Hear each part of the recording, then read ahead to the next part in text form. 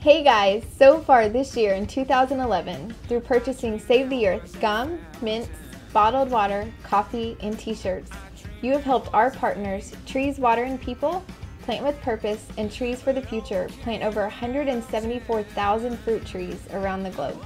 So, you might be wondering why fruit trees. Fruit trees are a source of food and sustainable income for families and communities. The fruit trees also provide fresh air, protect our water supply, and help planning for future generations. Thank you to all of you who have helped change the score simply by changing the way that you buy. Your everyday purchases have added up to huge impacts being made around the globe.